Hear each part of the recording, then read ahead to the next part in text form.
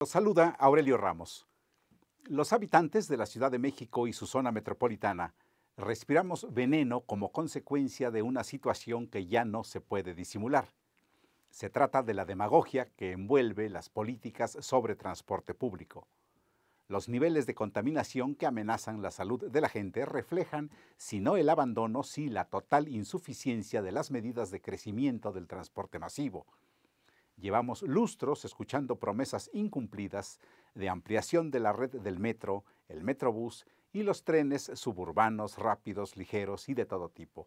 Y lo que tenemos es un sistema de transportación desastroso. El metro es una bomba a punto de estallar. Y tenemos también políticas gubernamentales de clara preferencia por el transporte individual. Como resultado de esta preferencia, hemos visto la construcción de segundos pisos, distribuidores viales, túneles, viaductos, vías rápidas, ampliaciones de calles y avenidas y kilómetros y kilómetros de asfalto en clarísimo estímulo al uso del automóvil. Si por una parte el transporte masivo es malo y por otra crece la infraestructura vial que hace atractivo tener auto, el resultado es obvio, más y más automóviles cada día hasta el punto de que hemos configurado una metrópoli absurda, inviable y caótica. Una ciudad donde las personas cuentan menos que los vehículos. El aumento desmesurado del parque vehicular causa una contaminación que nos está matando de a poquito.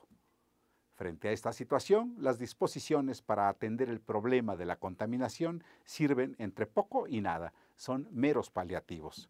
Se requieren políticas que le den una voltereta completa a la actual situación.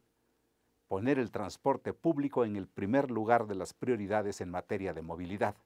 Reorientar los presupuestos, multiplicar no por uno, sino por diez los recursos destinados a hacer una red de transporte eficiente, seguro y cómodo, capaz de hacer que uno deje el coche.